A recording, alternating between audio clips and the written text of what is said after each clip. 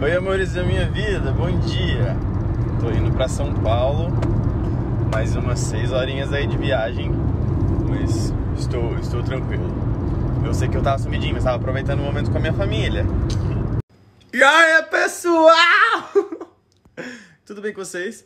Tô gravando pro canal já. Eu acordei hoje cedinho, hein? Hum, porque também ontem eu dormi o dia inteiro. Eu sei, eu sei, eu não gravei stories, mas é porque eu cheguei em casa e dormi Cheguei e falei, eu vou fazer a brincadeira do despertador, que é você não colocar o despertador para tocar. Vai ser um cochilo de meia hora? Vai ser um cochilo de 10 horas? A gente nunca vai saber. A gente vai descobrir na hora. Eu, por exemplo, dormi uma hora da tarde, acordei 6, 7 horas da noite. Mudando de assunto, eu preciso ir no alergologista.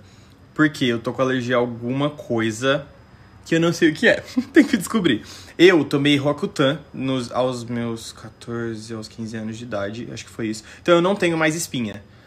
Por, por isso que eu tenho pele, tipo, nunca tenho espinha, por conta do, do Rokutan. Mas, eu tô me alimentando com alguma coisa que tá me dando muita espinha no peito e nas costas, tipo, muita, é alergia mesmo.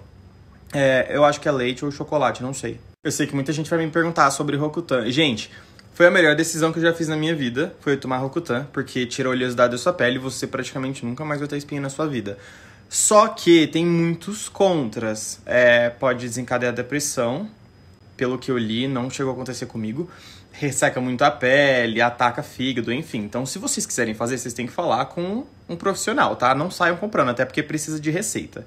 Então, vão dermatologista, conversem. Fechou?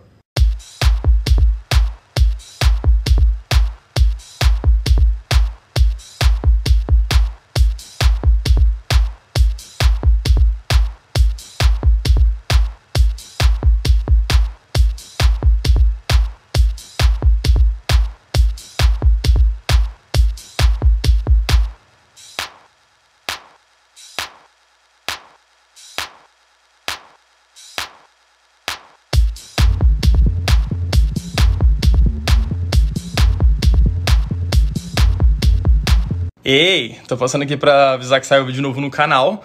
É, o YouTube não notificou, pelo que eu estou sabendo.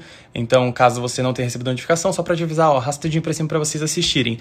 Eu mostrei os aplicativos que eu uso pra editar foto e vídeo no celular. Então, se você gosta de editar foto e vídeo, quer descobrir uns aplicativos da hora, eu mostrei uns bem legais lá. É isso.